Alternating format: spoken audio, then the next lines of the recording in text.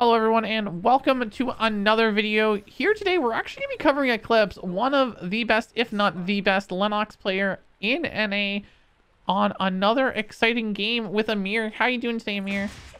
I'm doing amazing. Getting to see Eclipse play is uh, very fun, but I do see that he's not playing one of his uh, patented builds of either the Blink or Strider on Lenox. He's actually playing the uh, Force Field, as I think maybe he's realized his team needs a bit more tankiness this game. Yeah, for sure. I mean, he has a Rio, so he definitely has that front to back kind of angle. With the Camilo on his team, I mean, he could have definitely played the Strider to go for a catch as well as the Blink, but I think he's going to play more towards the Rio instead and play it a little bit slower, so that force field makes sense. The other thing, too, is I am excited to watch some Eclipse. Eclipse has been gone, I believe, for like a month, month and a half. So we haven't really been able to see him in games or any plays. So kind of excited to see where he's at now. As I think he's now been back for probably about a week.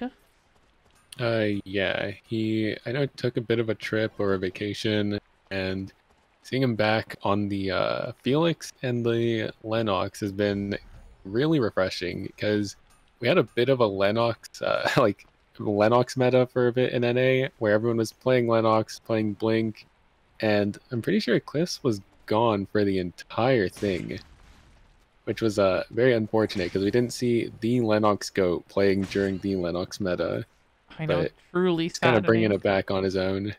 Yeah, absolutely. Maybe he'll bring it back here. But now, for anyone that doesn't know how Lenox works, let's just go over the kit real quick here. First is the passive bait and tackle. We'll talk about the main part of, uh, of the passive, which is tackle. So every 18 seconds, if Lenox hits a test subject with a basic attack or deals skill damage, she'll gain a shield. Her Q, recoil, allows her to whip a circle around her, dealing damage to enemies, and she deals extra damage to enemies hit by the edge. As well as when she hits an enemy, she gains a stack, reducing the cooldown of her Q per stack up to two stacks. Next is Snakebite. Lenox sends a whip, flying, dealing damage, and dragging enemy in front of her. This is like a Blitzcrank hook. It's pulling people in, grabbing people, pulling them towards her at a set distance.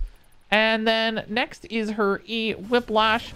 This allows her to sweep and flay a target around her, either pu pushing them away or pulling them towards her, uh, depending on which direction she uses the skill.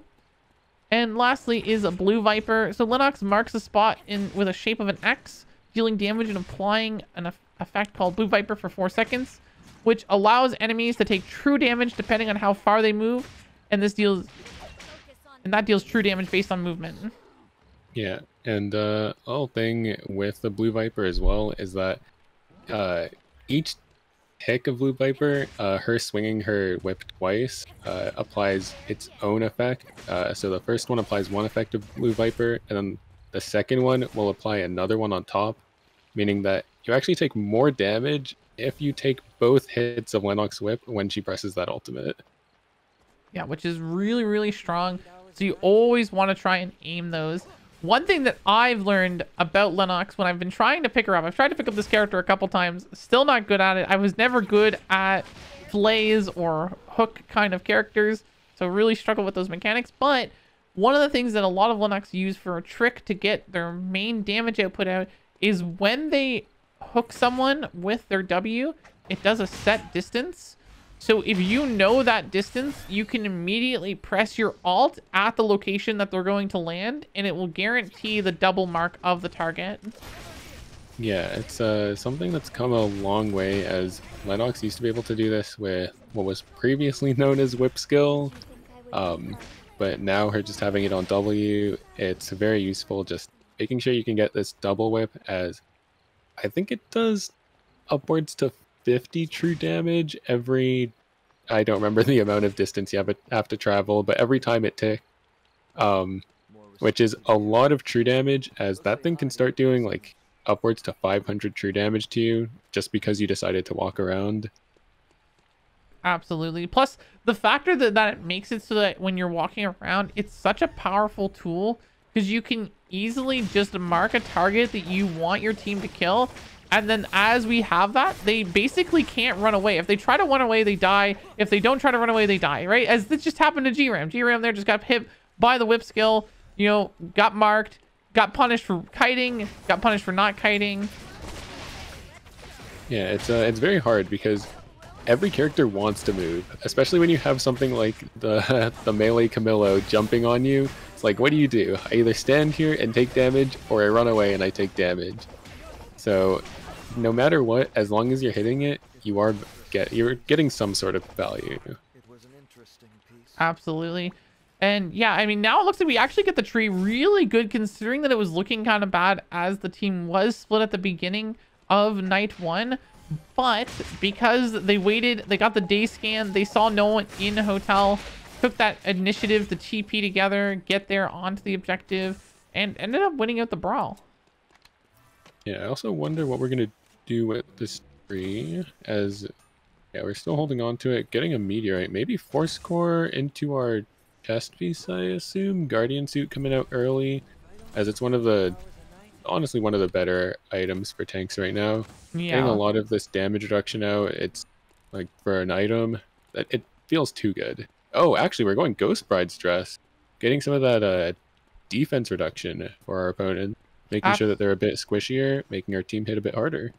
For sure. I think that's actually a really, really strong tank offensive tank item it's going to enable both the teammates to do a lot. And Lenox has a lot of tools to keep people inside that little cloud. So definitely won't be surprised if we see a lot of like pull-ins into like a flay backwards and just keeping someone locked down as long as possible for the team to just completely annihilate them. Yeah, looks like we're getting this battle zone for free. And I don't think we're in range to contest two objectives, so so probably be just be free battle zone into beach, go and get those bears. Um, but I actually didn't see who was taking. Okay, we're giving the objective over to Camilo. I was wondering who was going to grab it. If we're going to take something for ourselves, as we have a few tank items we can slam. I myself am not the biggest fan of uh, Lenox taking a majority of tree items, as most people on tanks with trees go uh, Burning Heart or Blazing Dress, and I don't really like playing those ranges as Lenox a bit too close range when I'm a bit more of a range tank. Um, but yeah, we're getting the Mithril, and I think we gave it over to our Camilo. Get him some more items, and uh, just keep playing it out from here as we don't need too many items early. Well, exactly. Plus, as a tank, I don't think we ever want to prio the tank. I'm surprised that the Rio didn't get prioed, though. I would have expected the Rio to take an item there. As we do actually have a fight happening. We do actually, yeah, again, aggressive flays. We actually flame the Tia back in again, just not too worried, not trying to peel, more so just trying to keep the enemies in place. We're very confident that we can win these fights. Again, full health, only our Camilo going down at this point. As I think Rio and uh, Lenox... Uh, oh my gosh, what a wonderful pull-in.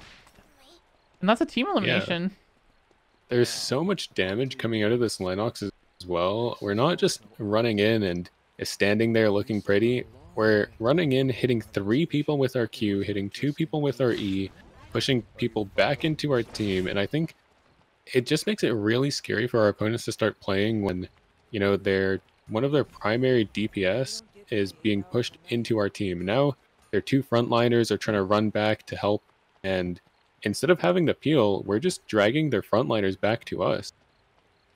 Well, exactly. And it's really, really impressive to know not to panic your abilities because I can guarantee a lot of Lenox there would have definitely panic flayed backwards, trying to send them back.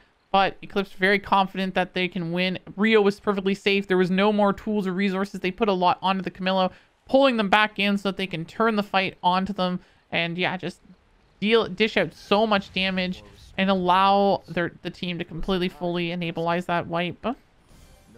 Yeah, I think it's also very nice that uh in a lot of these fights, we just see him walking, like continuously walking forward. It's just my opponents are aren't allowed to come at my my teammate because I'm gonna be in their backline, annoying their main carry, making sure that their main source of damage has to hit Eclipse instead of hitting their main sort of main source of damage themselves. Well, exactly. Actually, the crazy thing about that was is that he was full HP. No one hit him once. He was he was able to walk forward, be around all of them, hit multiple three hits, but not a single person touched him. By the time Camilo went down and Tia alted, he was still full HP.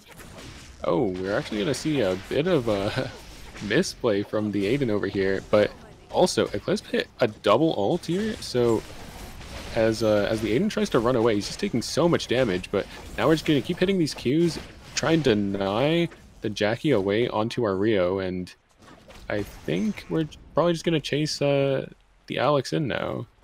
Yeah, I think we might be able to still catch him. He's going to be in the corner here. Does Eclipse notice it? Oh, no, the vision gap. Yeah, I think that the Alex will now get out as that character has a bit too much mobility and can just keep running away. One of the best riders in the game right now. For sure. And, and uh, also, can we talk about as well with Eclipse there, when he did that full combo onto Aiden, we really saw the true combos that we were talking about where he was able to flay him back, then hooked him so that he guaranteed the hook into the same spot into immediately alting so that he got the double mark. And then that forced Aiden, when he jumped away, to not be able to move as much. He actually had to stop for a moment and almost ended up dying for it. Yeah, a nice little thing with the Lenox that you can do is, as you said, use the uh, use the flay first, use her E, and then combo her E into her W, and don't just open up with that hook. As you see, they can just start sidestepping it, playing around it, and dodging it, but we actually will see so much damage coming out to the Rio. We didn't realize that the Alex walked into the bush, but uh, yeah, I think he sadly will be getting caught out here as we still have a decent amount of damage left in the the two of us being Camilo and uh. No, for sure. And again, yeah, I mean, really good combo there from Alex as a rat taking down the Rio for a trade. Minus 250 for his team, but hey, still not bad. Got a little bit of RP. But again, it's just, it's so clean watching Eclipse land that combo every time. The second that uh, Alex got hooked, it was over for him because he immediately got hit by the ultimate. And it just means he can't get away. He's just done for. Yeah, and we do see another force core coming out. I don't, yeah, Rio doesn't want it, and our Camilo's already kind of set up, so it looks like we will be going into the solar system miniature, which is a very nice and funny item, as it is just stats, the item, giving 15 defense and 600 health when you're level 20. It is a lot of tank stats. Yeah, this is an insanely statted piece here with 3.3k HP already so much health. I'm actually just uh, curious here. If we jump over, I mean, 3.2k on this Lenox here. So not not a whole lot more, but 200 extra. Yeah, but this is still, uh, we're still not level 20. We're on average, I think this item gets like 300 more health than other tank items or than other tank arm slots when you hit level 20. Um, which can mean a lot when you also have a lot of defense, as we actually do get Crusader's Helm coming out for our headpiece, meaning that we're good on CDR. Probably just going to transition those boots into, I assume, uh, Wildwalkers, because we do want that CDR on the boot slot, and we don't need attack power. Um, and we also don't really need amp, as Lenox isn't the most amp scaling character. Yeah, plus, I mean, this weapon is so overstated. Like, I this is probably the best reason to run a whip tank is that whip tanks are naturally doing a lot of AoE. This is a great heal cut weapon, super cheap, and you almost never ever need to upgrade it. So super, super efficient that way. And oh my, yeah, instantly just walks up, doesn't or, care, oh. goes right for that fillet. Fully just set up, like, again, we're not, we're not even pressing W yet. We, we literally just walked up and didn't care, only using our Q and E for that entire time. Yeah, a lot of what we need to do isn't even use this hook. Um, like, we can just pressure them, use our body. Like, that, that's what we're there for. We are a tank. We hold a lot of pressure in just walking at people.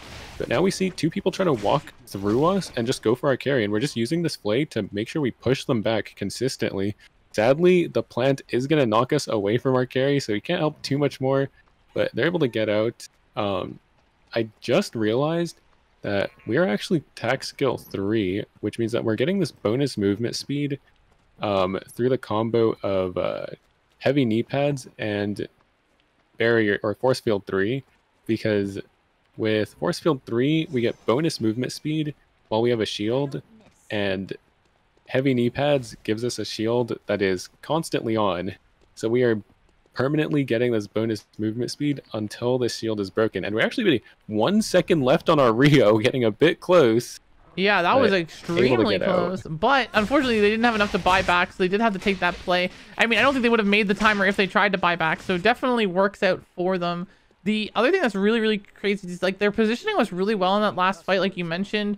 Really had Lenox positioned pretty well, trying to keep the flay, and the Rio repositioning after they walked past the uh, the Lenox the first time, making sure that Eclipse could get that extra flay to keep them away. Sadly, the blast cone kind of screwing over the fight for them, but it looked like a lot of third parties, and Eclipse kind of realized that immediately that there's no way for him to save the fight the second that he got blasted away, and just opted to try and get the team back together. Yeah, it's always better just take the uh take the minus credits and play for your revives. Don't worry about making that hero play. Sometimes it's beneficial, but a lot of the time it just ends up with you running it down and uh, maybe your team ends up typing some uh, not nice words at the end of the game. No, for sure. And hey, we got a meteor, so we won our whip upgrade. Again, this whip's not bad, but it's not it's not as crazy as you'd think. It's just a little bit extra amp. Whereas you can just stay on the purple whip and it's fine, but there's no there's no need. No one else needs any items, and we had it there. We might as well slam it. And I think we're about to get a free third party now that we just TP'd in. Yeah, we actually have such a big fight going on here. This might just end the game. Where actually, no, sorry, we have one team that is not even close to this fight, but we're able to pick up one kill. Uh, we might just go down and look for the uh, the two stragglers that are running down. I don't know if this man will, or oh, Aiden actually does get the TP out. Oh, he was hoping for a better TP. Maybe look for the revive onto the teammate. Oh And wow! Eclipse is just the TP goat, where he's just able to get the TP that denies them the revive perfectly.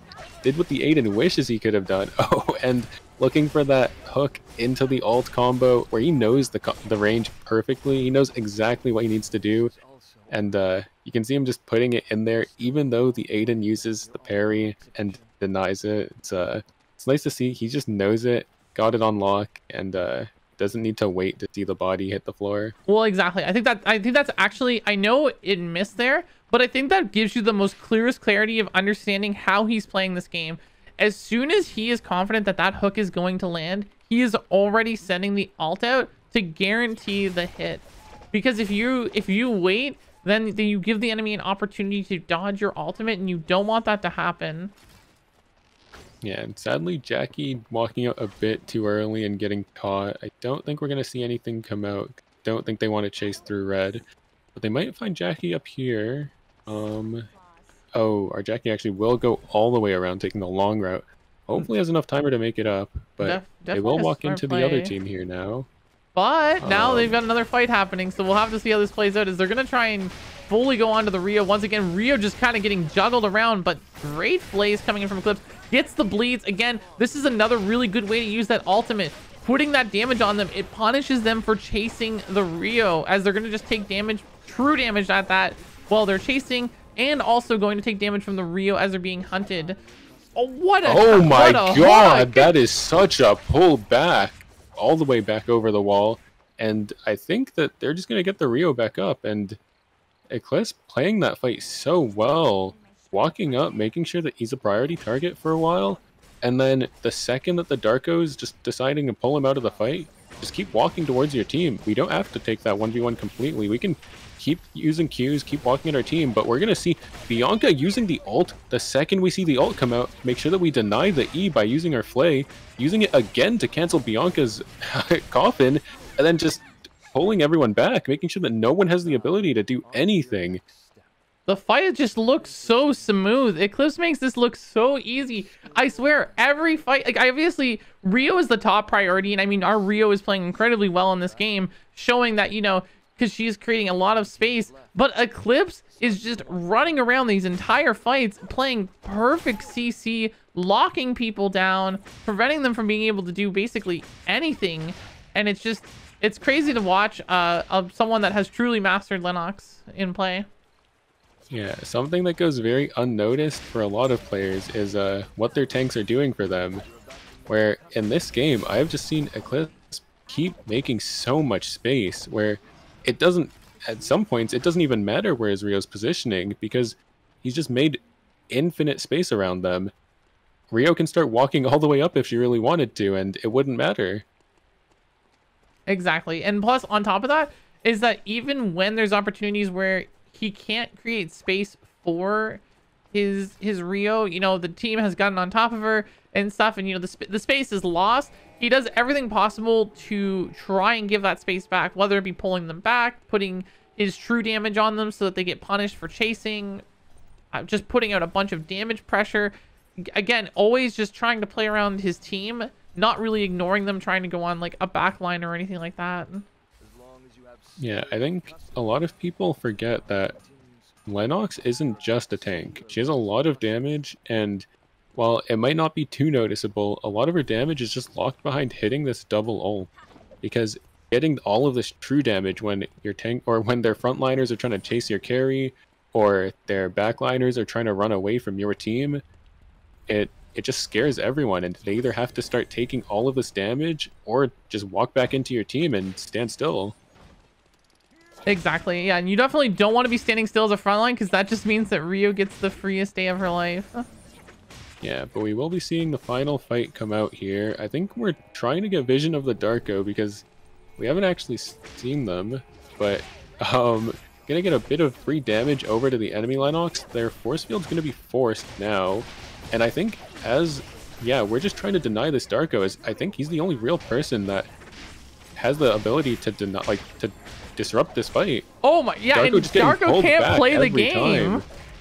It, it must feel so bad because our Lenox is just permanently denying him the ability to go in. And then again, rooted the second he jumps in.